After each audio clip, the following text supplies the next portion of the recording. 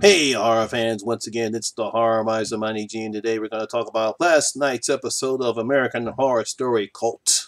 Now, basically, we start off the episode with uh, Vincent approaching Kai's home, surrounded by those weird-looking dudes, whatever you want to call them. I guess they're his personal bodyguards, and we find out whether or not that Vincent really doesn't know what's Kai's planning. Uh, we thought we did, but he really doesn't. Vince feels kind of sad because he didn't uh, visit Kai in the hospital, and uh, he apologizes for him, but Kai, being the manipulative bastard that he is, says, from now on, you call me Councilman. Cue the opening credits! So after the opening credits, we are back to the butchery, and uh, Ivy is serving his uh, Kai's army at breakfast, and they're making very rude comments to her saying that she'd be more bangable if she would smile more. And the women contingent of the of the cult seem to be more than uh, servants to the men, which does not make any of them happy, especially Beverly. Uh, she feels as though that uh, it's time to cut the head off the snake, as she says so uh, vehemently, using the um, smut campaigns as a motivation. And uh, she tells Beverly, uh, tells Winter that you cannot trust your brother. But uh, Winter says, but he helped save my life one time. I have to be loyal to him. He's just going through a phase. Then we get a flashback. I believe the flashback happened back in uh, 19... He had a flashback uh, where they were when, when they were internet trolls, and they eventually uh, come up to this place called Judgment House. They get invited to this place called Judgment House, and this weird preacher uh, invites them in, and it looks like, and uh, they get to this place that looks like traps that Jigsaw would be proud of. They see this pregnant woman uh, sitting in some stirrups, but well, not a pregnant woman, some woman in some stirrups. Kai think it's just an all his act, but he finds out that the blood is real, and the woman supposedly had an abortion. That this guy is supposed to be punished because he was a drug addict, and this other guy be because he thinks the guy is gay. Kai saves all of the people and he puts the preacher in his own trap and he kills him after revealing that the woman was not getting an abortion. The guy was, was actually going to recovery and the guy that was not gay, he was there to help. He was a volunteer for an AIDS clinic. So he kills the preacher and Winter says that's when Kai changed. And she said he helped save a life because the preacher wanted to take Winter for his own nefarious purposes, but Kai uh, captures him, kills him, and puts him in a trap where the um, guy that's supposed to have been gay would have been killed, but he kills the preacher instead, and Winter said that's where Kai changed. So Beverly says, okay, you get a week, but after that, he's mine. So, uh, we switch all over, and next thing you know, um, we get a scene with uh, Allie. We haven't seen Allie in a while. It appears as though she's been locked up in an insane asylum, well, actually in a psych ward, after the supposed attempt on Kai's life. Uh, her and Vincent are in her house, and uh, Vincent admits to uh, Allie that uh, Kai and Winter are his are their, are his brother and sister, and it doesn't take Allie long to figure out that that uh, Kai that uh, she told him all her phobias and that that's what Kai used for all her phobias. Vincent makes the excuse that Kai might have broken into his office and read his files. So uh, they come to the conclusion that maybe Kai's going off the deep end, and Vincent said he is going to do what he can to get Kai to back off and probably report him and send him to a sane asylum. I don't think that might bode well for Vincent. Meanwhile, uh, Winter and Kai have their little pinky power thing where uh, Kai has some weird, weird thing for Winter. He wants her to have a baby because he says we have to make our family grow. We're going to make one. He wants to impregnate Winter. That's weird. But he's not going to do it. He's going to get Detective Samuels to do it, and they're going to have some type of a, a huge ceremony. The next scene, we see them in robes, and the whole place is decked out with candles. And unfortunately for Samuels, he uh, fortunately can't get an erection. Uh, for some reason, he can't get a direction. It gets to the point that Winters is just disgusted with, uh, with the uh, whole situation. Feels as though he's raping her, raping her, and uh, she backs out of the whole deal. As for punishment, uh, Kai has her cleaning up the uh, things with aluminum cans, but tells her to dump it because he doesn't believe in global warming. Warming, and uh, we see Samuel feeding her, and then we get an interesting flashback with Samuel. Uh, turns out that when Kai was still pushing before Kai became Kai, he was pushing prescription drugs, and Detective Samuel caught him and uh, told him that you're going to be my bitch and you're going to give me half of your money. Kai goes in ahead and goes back to her apartment with half the money, but then sees that uh, Kai is trying to have sex with a woman, but he can't. Woman runs out, and then Kai confesses that the fact that for some reason he just can't have sex with women, even though he's a very handsome man, if you want to call him handsome, I don't know.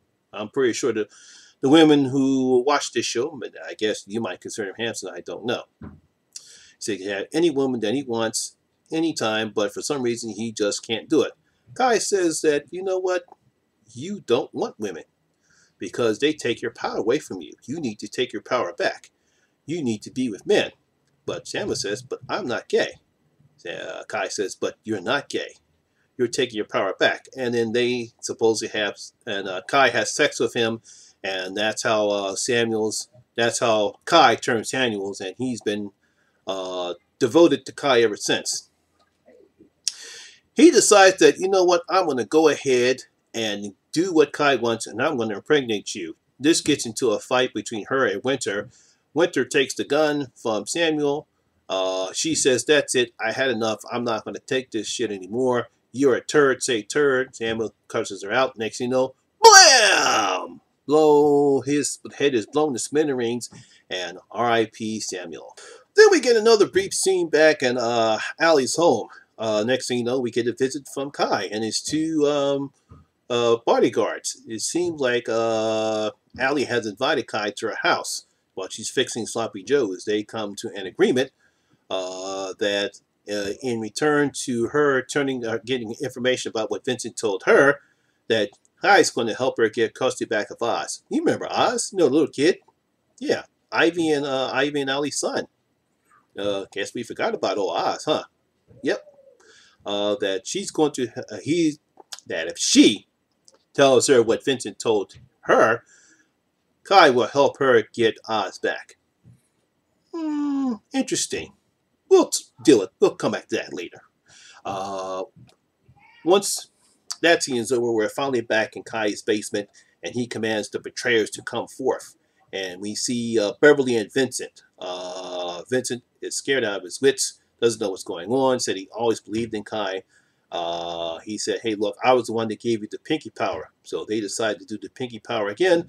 Unfortunately, Kai snatches off his, uh, his uh, pinky with a knife and slashes his throat and kills his own brother. Oh, man. So much for Vincent. That was up to Beverly. Uh, Beverly, um, up to Beverly. Kai tells her he's very disappointed. We were supposed to be equal, and the fact that you killed Samuel is a total betrayal. What? How did that happen?